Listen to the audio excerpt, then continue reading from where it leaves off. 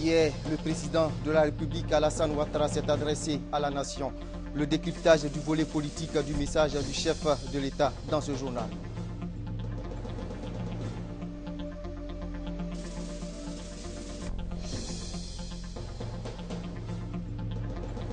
La paix veut cher aux Ivoiriens en ce début d'année. Des réactions dans cette édition.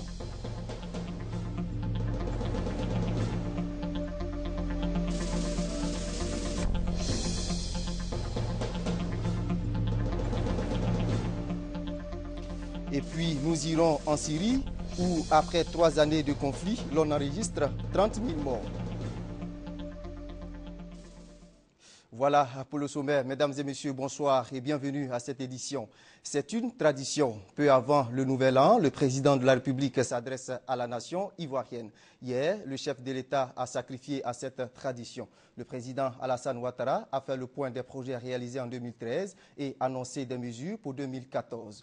Il a décidé, par exemple, de la révalorisation des salaires et du déblocage des avancements indiciaires des fonctionnaires. De même, le chef de l'État a confirmé la poursuite des grands travaux de construction et l'avènement de la couverture maladie universelle. Sur le plan politique, le président Alassane Ouattara a annoncé la poursuite du dialogue politique. Décryptage du volet politique du discours du chef de l'État avec Sylvie Touré. Alassane Ouattara a parlé à son peuple à la veille du Nouvel An. Il a parlé le cœur plus léger que les autres années, dit-il. Certainement parce que la Côte d'Ivoire dont il rêve se dessine à ses yeux. Des signaux économiques au vert avec des perspectives encore plus reluisantes qui lui permettent même de déclencher le compte à rebours de l'émergence annoncé pour 2020. Cet objectif ne saurait cependant être atteint sans la paix. Le président de la République en est conscient. Alassane Ouattara, disciple de l'apôtre de paix Félix Houphouët-Boigny, embouche encore une fois la trompette de la paix pour appeler tous les Ivoiriens à l'unité. Le processus de réconciliation est un chemin de non-retour, semble-t-il dire. Alassane Ouattara ira jusqu'au bout de la course. Il s'y est déjà engagé en procédant à la libération de plusieurs prisonniers politiques. Certains de ceux encore restés en prison seront assurément libérés au cours de l'année 2014. Le chef de l'État révèle dans son discours avoir demandé à la justice d'examiner à nouveau une mesure de mise en liberté provisoire. Une bonne nouvelle qui devrait contribuer davantage à la décrispation du climat politique et ramener les sceptiques autour de la table de dialogue. Autre point abordé par le président Alassane Ouattara, la question des Ivoiriens réfugiés à l'extérieur. S'il est vrai que plus des deux tiers du contingent sont retournés au pays, il est aussi vrai qu'environ 80 000 continuent de souffrir à l'extérieur. La politique de retour volontaire se poursuivra, a promis le chef de l'État. Au total, un discours apaisant et rassurant qui démontre une évolution de la situation sur la scène politique. Un discours qui révèle aussi que les adversaires politiques sont désormais appelés frères et sœurs, qui révèle également que le débat démocratique est une nécessité et la réconciliation un impératif. Et ce mercredi, certains partis politiques ont réagi à la suite du message du Nouvel An du chef de l'État à la nation. Je vous propose d'écouter quelques réactions au micro de Léon Brou. Le président, c'est que nous avons entendu son discours. Je vais rester positif et croire qu'il existe des gestes qui vont suivre rapidement, dans un rythme soutenu, ces paroles présidentielles. On n'attend pas autre chose que la réconciliation. On n'attend pas autre chose que la protection sociale. Quand on augmente euh, les salaires, quand on, débloque les salaires qui étaient bloqués, quand on, on augmente le SMIG, euh, le pouvoir d'achat augmente. Quand on parle de couverture sociale euh, en matière de maladie, évidemment, ça veut dire que quand on passe de la bonne santé à, la maladie, on est pris en charge. C'est un discours d'espoir. Je pense que c'est un très bon discours. Et, et je dis qu'il faut suivre ce discours et que, euh, au bout du compte, que tout ce qui a été promis soit effectivement appliqué. Concernant la sécurité, c'est vrai qu'il y a eu du mieux.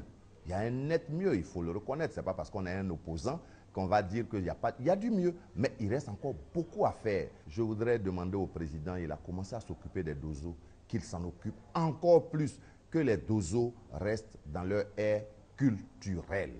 Et puis, euh, sur le plan politique, il ne nous a pas dit ce qui sera fait par contre pour les partis politiques. Nous n'avons pas nos financements, nous n'avons pas notre statut. Et pourtant, dans le cadre du CPD, nous en avons discuté. Les décisions ont été arrêtées dans le cadre du CPD avec le gouvernement. Mais il y a une fenêtre qui est ouverte. Il a dit que le dialogue se poursuit. Nous espérons. Quand il dit reprendre, parce que pour nous, ce dialogue n'était pas rompu, puisque nous sommes membres du CPD, mais il y a eu une accalmie lorsqu'il s'agit de reprendre. Ça veut dire donc que ça va être repris avec force et vigueur. Et ça, nous, cela nous satisfait il faut que la CEI soit revue. Il y a longtemps, avant les élections même législatives et municipales, nous avions demandé que cela soit fait. Ça n'a pas été fait. maintenant, il, il vaut mieux tard que jamais. Je vous le disais, le président de la République a décidé de la révalorisation des salaires et du déblocage des avancements indiciaires des fonctionnaires dès ce mois de janvier. Avec cette augmentation, l'État va débourser plus de 137 milliards de francs CFA. Jean-Jacques Kwame Allah revient sur les grandes décisions économiques contenues dans le message du président à la nation. Le salaire des fonctionnaires revu à la hausse dès janvier 2014, véritable bouffée d'oxygène pour les fonctionnaires de Côte d'Ivoire dont les salaires étaient bloqués depuis 1988. La bonne nouvelle a été donnée ce mardi par le chef de l'État, Alassane Ouattara, au cours du message de Nouvel An à la Nation.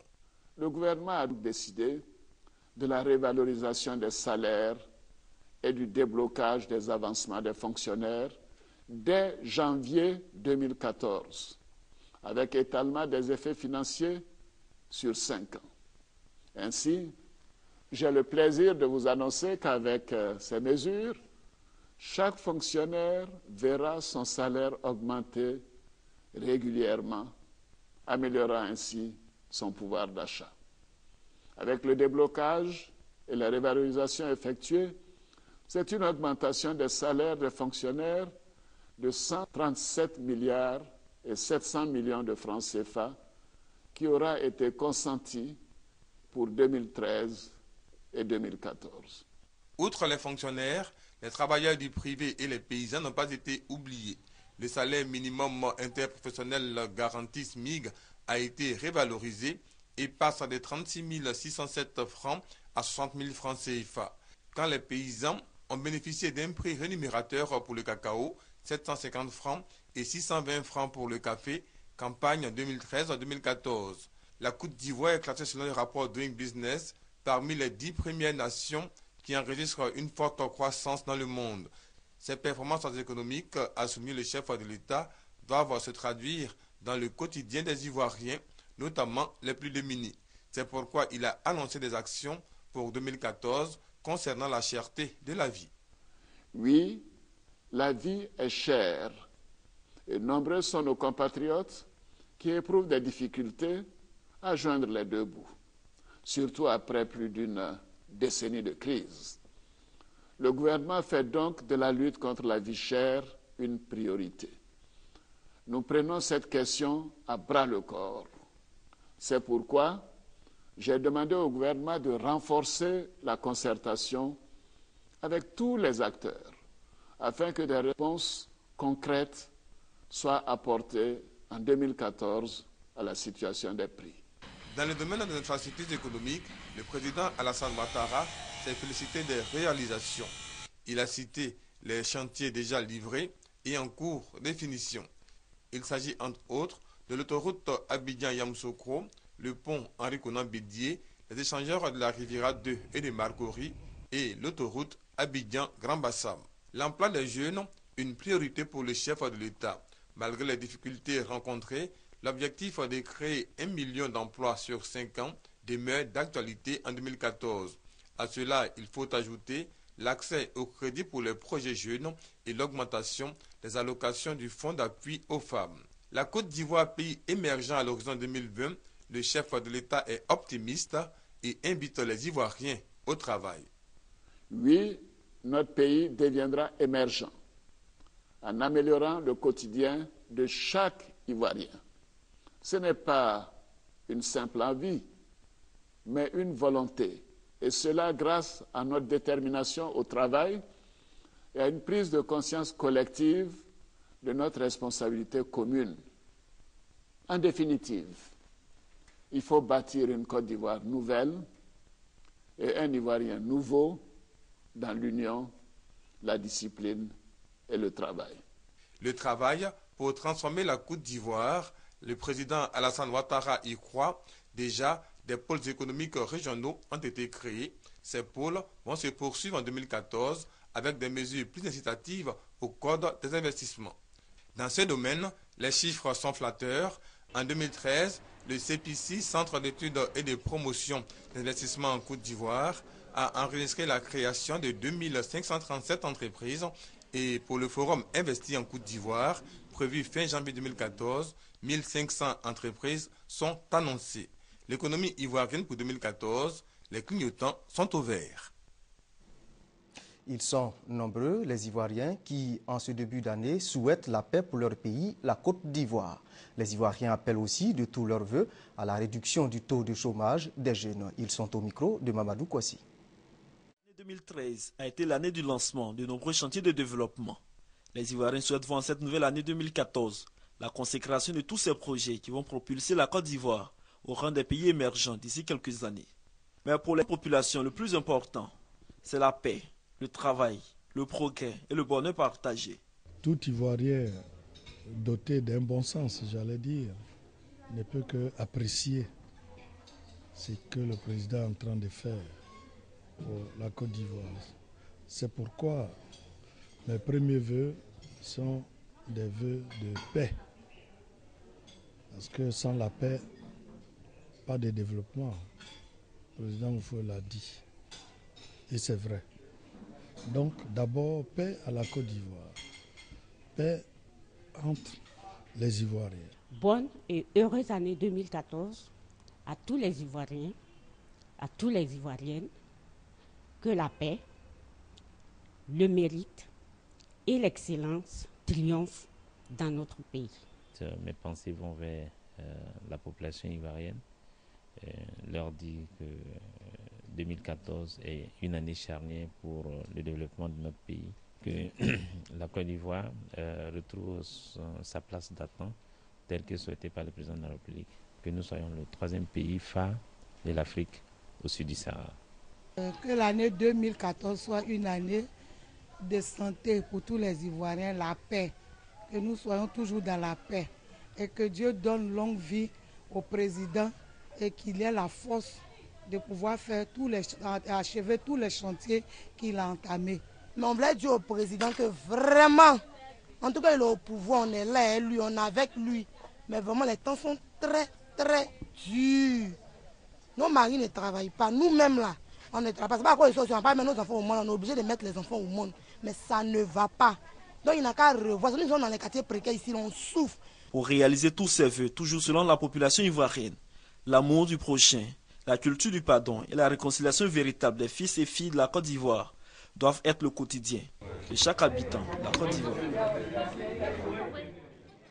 L'amélioration des conditions de vie et de travail reste les préoccupations majeures pour beaucoup d'Ivoiriens. Justement, sur ces questions, le président de la République a dit hier prendre des mesures pour améliorer le quotidien des Ivoiriens. En attendant, des guides religieux pris pour le pays.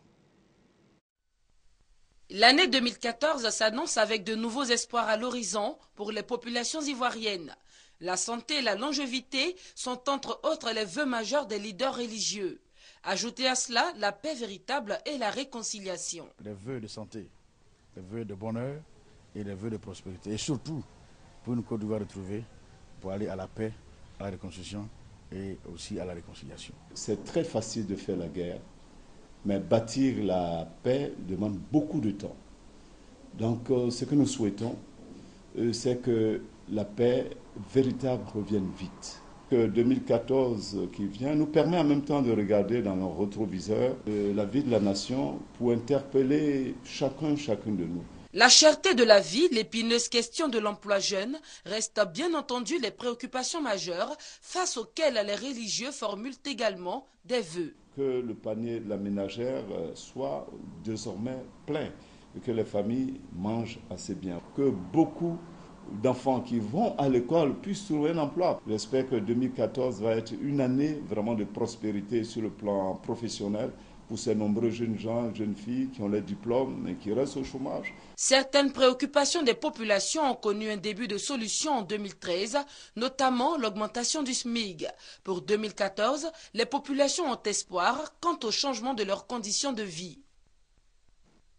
Encore, religion. Le patriarche Dangui Faustin, président mondial de l'église Ariste, forme lui aussi ses vœux de nouvel an pour la Côte d'Ivoire, ses dirigeants et ses populations. Il a officié hier la messe de nouvel an au temple mission Ariste de Port-Boué, dans la commune de Port-Boué. Le reportage d'Eugène Trouvé. Minuit à Abidjan, pendant que dans la commune du plateau des coups de salve déchiraient le silence de la nuit et que les populations célébraient la nouvelle année sur un ton carnavalesque, ailleurs, l'atmosphère était religieuse, comme ici au temple Mission Ariste de Petit Bassam, dans la commune de Port-Boué. À cette même heure, les fidèles de cette église unissaient leurs prières de vœux pour la Côte d'Ivoire, ses populations et ses dirigeants. Des prières couplées à des supplications à Dieu. Dieu en qui nous avons confiance, en qui nous avons placé notre foi, ne nous a pas abandonnés. Il faut croire en lui. Il a de valeurs que Christ, qui est l'incarnation de Dieu, nous a enseignées. Ces valeurs, en ce début d'année 2014, il faut que les Ivoiriens se l'approprient, ces valeurs. Ce sont les valeurs de pardon, les, valeurs d'amour, les valeurs de justice et d'équité.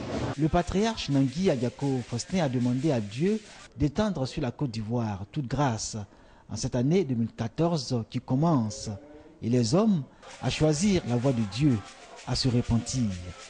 Les fidèles de la mission Ariste de Petit Bassam, eux, ont réaffirmé leur foi, nourris de l'espérance pour une Côte d'Ivoire réconciliée, unie, prospère et où règne une paix définitive.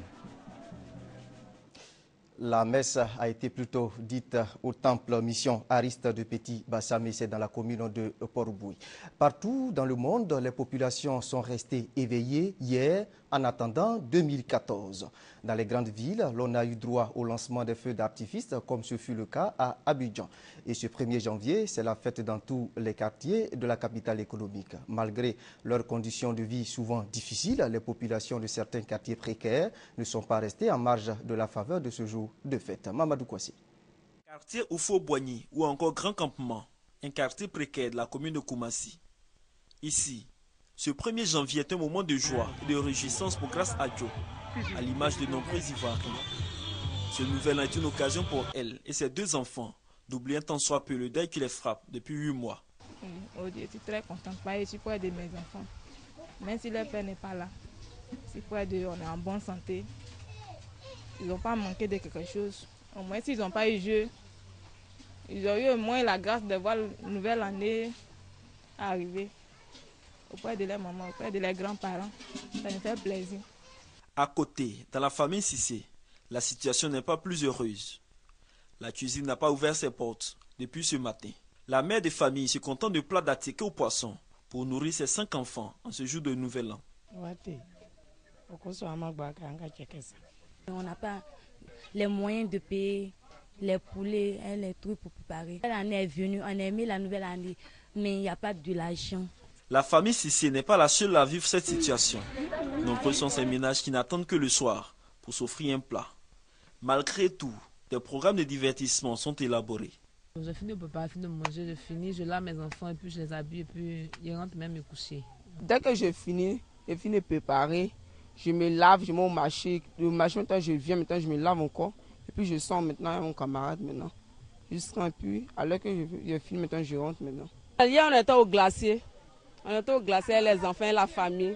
Donc aujourd'hui, on s'en rend visite aux, parents, eh, comme les collègues. D'autres aussi vont venir manger avec nous. Dans ce quartier précaire, malgré les conditions de vie difficiles, règne la cohésion et la solidarité.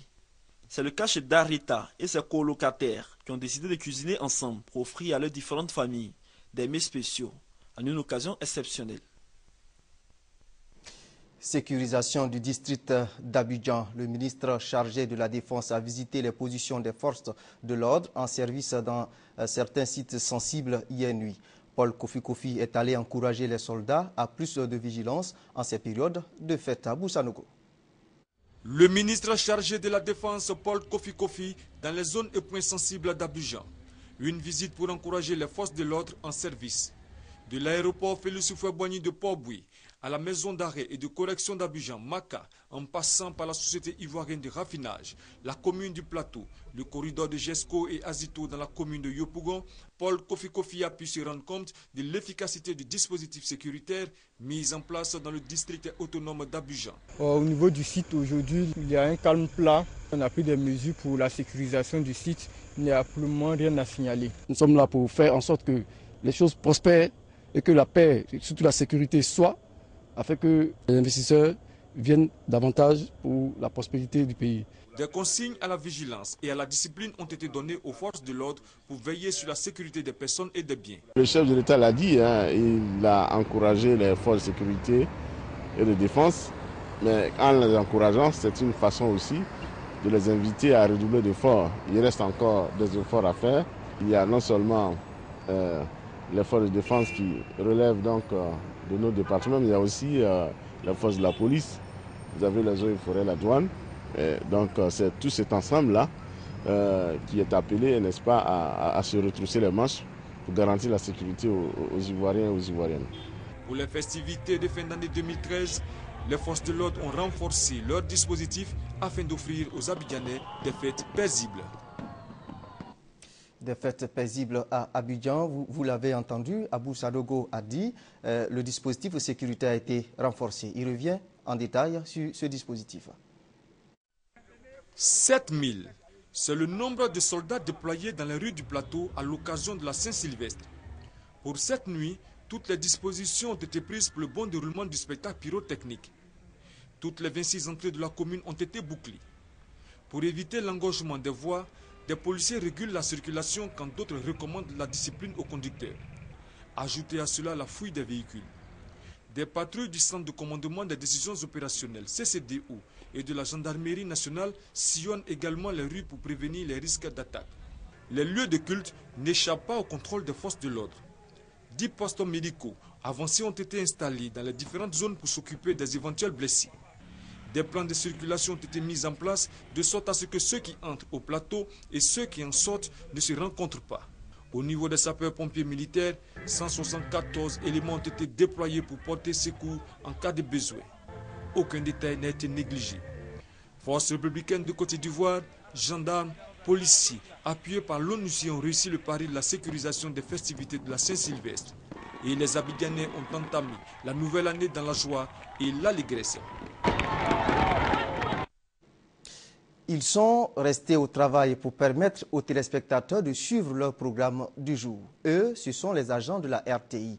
Ils ont reçu la visite du directeur général de la RTI, Amadou Bakayoko. Les de Léon Brou. 1er janvier, jour férié, chômé et payé. Ce n'est pas le repos pour les agents de la RTI, radiodiffusion télévision ivoirienne. Journalistes, techniciens, maquilleuses, machinistes, bref, tous les intervenants dans la marche des programmes de la télévision sont à leur poste. Nous sommes comme des soldats. Hein. Tous les jours que Dieu fait, euh, nous sommes toujours prêts euh, à être sur le terrain. Aujourd'hui, on va essayer de mettre euh, le paquet vraiment pour, pour donner les informations dans une ambiance de fête. Quoi. Après le travail, je retrouve ma famille et je reçois certaines personnes. Assurer la continuité des programmes, raison de l'acharnement des travailleurs de la télévision ce jour de fête. Leur abnégation mérite encouragement et le directeur général Amadou Bakayoko le sait bien. L'antenne ne pourrait pas rester là à satisfaire des millions d'Ivoiriens si ces agents-là ne faisaient pas l'effort d'être là, y compris euh, ce jour qui est important parce que c'est le premier jour de l'année. Donc vraiment c'est du courage et je les remercie pour tous les efforts qu'ils font. Cette visite, aussi une occasion pour le directeur général d'adresser ses voeux de nouvel an aux agents de la RTI et de leur expliquer sa vision managériale pour 2014. En 2014, nous essaierons de suivre dans la mesure de nos moyens euh, l'impulsion donnée par le chef de l'État vis-à-vis des fonctionnaires dans notre structure qu'est la RTI. Bonne nouvelle pour les agents qui disent être honorés par la solidarité que leur manifeste la hiérarchie de la RTI. Les agents du centre émetteur d'Abobo n'ont pas été oubliés. Ils ont reçu la visite du directeur général adjoint de la RTI, Yeo Adama. Une visite aux agents en poste dans ce secteur sensible pour les encourager et leur présenter les vœux de toute la direction de la RTI. Laetitia Manglé. En ce jour de fête, ils sont bien loin de leur famille. Ces agents du centre émetteur d'Abobo sont à pied d'œuvre pour une réception en temps réel des programmes de la RTI par auditeurs et téléspectateurs du district d'Abidjan et environ. Pour ces techniciens, pas de repos. Une assiduité qui est venue saluer et encourager Yeo Adama, directeur général adjoint de la RTI, accompagné de ses collaborateurs. Salles d'observation, salles des émetteurs et autres installations sont passées en revue par la délégation pour s'imprégner de la qualité des équipements et aussi des conditions de travail des agents. Nous voulons vous apporter le soutien de toute la direction et donc vous donner aussi les messages du DG de la RTI, les messages d'encouragement, le message surtout de cohésion et d'entente. 2013, je pense, en tout cas, euh, personnellement, on a fait un beau travail. Et donc, euh, on tient une fois de plus à vous féliciter et vous dire surtout les meilleurs voeux. Et bonne année vraiment à tout le monde. Pour Ira Bernard, chef de ce centre émetteur, c'est une source de motivation de recevoir les encouragements et les vœux de la hiérarchie. Nous travaillons en parfaite harmonie ici. Donc, sincèrement, votre visite nous, nous rend vraiment joyeux. Donc, nous vous remercions. Profitant de l'occasion, les agents n'ont pas hésité à égrener leur chapelet de doléances. Le clou de cette visite, un geste à l'endroit des agents du centre émetteur d'Abobo de la part des visiteurs du premier jour de l'an. Ce jour de l'an, déclaré férié, les agents de la radiodiffusion étaient eux aussi à la tâche au plateau. Loin de leur famille et des repas somptueux des fêtes, certains agents de la radiodiffusion télévision ivoirienne RTI étaient ce 1er janvier au travail.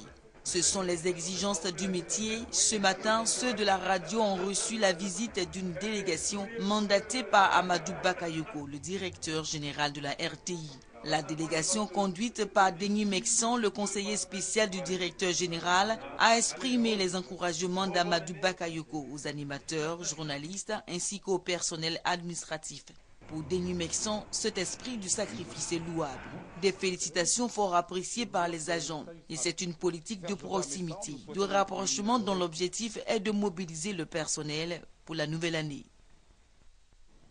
À l'étranger, plus de 30 000 personnes, en majorité des civils, ont péri en plus de 18 mois de conflit armé en Syrie, selon un bilan fourni mercredi par l'Observatoire syrien des droits de l'homme. D'après cette ONG basée en Grande-Bretagne, qui s'appuie sur un large réseau de militants et de médecins sur place, plus de 21 000 civils armés et, non armés, 7 322 soldats et 1168 déserteurs sont morts dans la répression et les bombardements des forces du régime, de même que dans les combats entre les soldats et rebelles. Et c'est la fin de cette édition. Merci de l'avoir suivi. Bonne suite de programme sur RTI 1. Bonsoir chez vous.